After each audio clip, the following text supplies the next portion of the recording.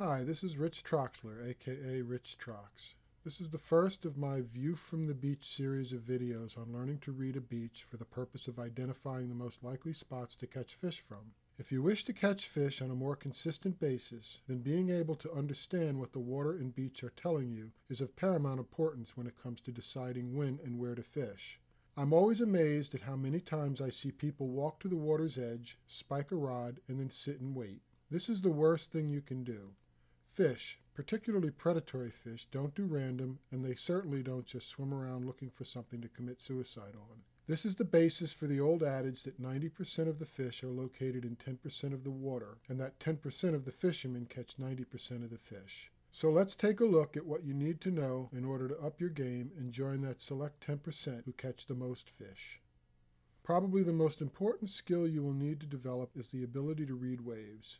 When standing on virgin shoreline, wave action and water movement are the primary means you have of determining what is going on beneath the water's surface. And what the bottom is doing is important because this is one of the major things that fish relate to. While the math of fluid dynamics is fairly dense, you don't need to know any of it in order to read water. But before you can understand exactly what a wave is telling you, it's vital to know just what a wave is and how it behaves. There is a lot of stuff about waves already on the internet, so I'll try to keep it brief. Most waves get their start as wind energy. The wind passing over the top of the water transfers some of its energy to the water. This energy is stored in the form of a wave. The more wind, the more energy stored. A wave is not water movement or current, it's just energy, which is why in the ocean things bob up and down as the wave goes by. They don't travel with the wave, and neither does the water. The energy passes through the water and causes it to go up and down.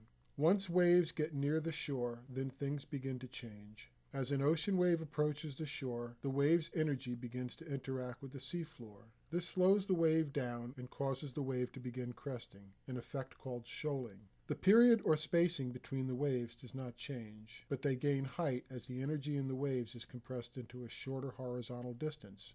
When the bottom comes up high enough, the wave can no longer support itself and it breaks. This is an important point to understand that wave height and how it breaks are related to water depth and contour of the bottom. How a wave breaks contains important information. There are basically two main types of breakers. The first, called spilling breakers, occur on flatter shores and their crests break and cascade down the front as they draw near the shore, dissipating energy gradually. These are the beaches with slowly rising bottoms, no offshore structures like bars, and flat, nondescript shorelines. I call these dead beaches. Surfers and bathers may love them, but they're typically not very good for fishing.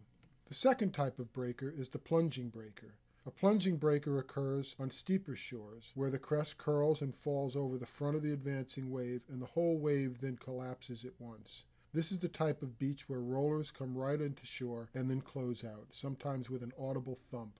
Because the wave is not breaking further out, this indicates that the water is deep enough to keep the wave from breaking until it runs out of room and crashes right at the water's edge. Again, wave height and the way it breaks are directly related to water depth and bottom contour. These beaches are usually far more desirable for fishing.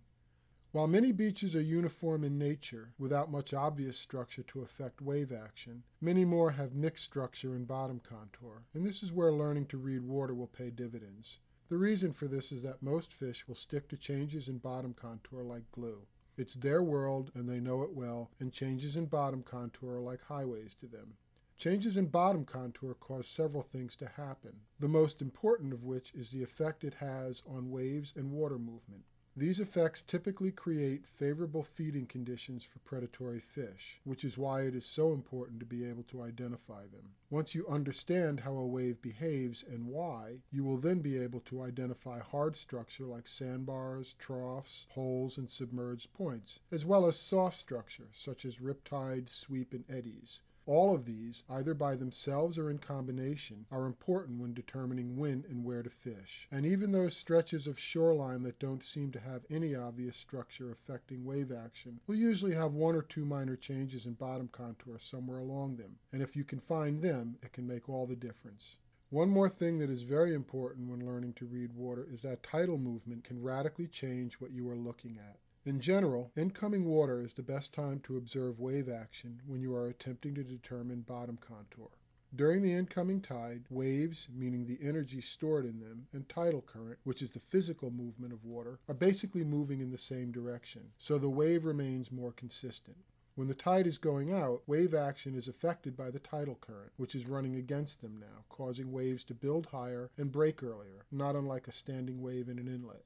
In effect, the outgoing tidal current is soft structure acting against the wave. So what you want is the wave direction and tidal current running in the same direction, or as close to it as possible.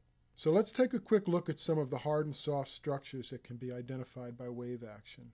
I'll be doing videos covering each of these in more detail in the near future, so this is just a quick primer. The most obvious piece of structure that wave action gives away is the common offshore sandbar. These reveal themselves by the waves breaking on them with smaller waves making their way to shore. This happens because as the wave approaches the bar, the bottom rises, which in turn causes the wave to rise in height until it can no longer support itself and breaks. The remaining energy washes over the bar and reforms as smaller waves with no cresting. The reason they don't crest is because there is typically a trough or deeper area between the sandbar and the beach, and the remaining energy in the wave is not strong enough to interact with the deeper bottom. The smaller waves usually break right near shore unless there is another bar or flat bottom between the bar and the shore. I mentioned the word trough a couple sentences ago, and a trough is another type of structure that can be identified by wave action.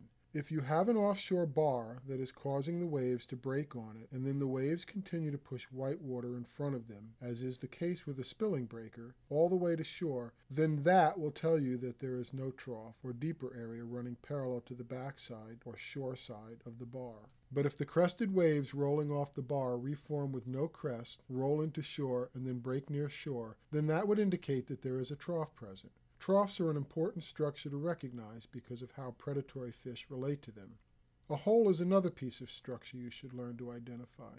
Where a trough is a deeper bottom contour that runs parallel to the beach, a hole is a deeper area that runs roughly perpendicular to the beach. They are identified by waves breaking further out on either side of the hole, while the waves traveling over the hole break near shore, sometimes as a plunging breaker. Holes can also be accompanied by a riptide, which is a kind of soft structure where water current runs out from the beach. Points and submerged points are another type of hard structure that can be identified by how waves break over them or around them. On some types of shorelines, points can be located on either sides of holes, and there can even be an alternating series of points and holes running along a beach. Sometimes points can get bent around at their offshore end and form coves. Sometimes there are just a series of little points along the beach. Regardless, they can all be identified by wave action or the soft structure water movement they create like eddies. So understanding what a wave is and how it interacts with bottom contour, as well as soft structure like current, is vital in learning how to read a beach. Once you understand what the water is telling you, you will then be able to identify key types of structure, meaning the types of areas your target fish species inhabits and feeds in. The most expensive rods and reels, the hot new plug, or the freshest bait mean nothing if you can't place them in an area that holds fish. So fishing success is built off of your understanding of wave action and your ability to read a beach. Well, that's it for now. Fishing is a lifelong learning process that never ends, so I hope you find this information useful. As I mentioned earlier, I will be covering each type of beach structure in detail in future videos, so stay tuned. My version of life is that catching fish is fun, but catching fish from spots you figure out on your own is twice the fun. That's my view from the beach, so until next time, be well and catch 'em up.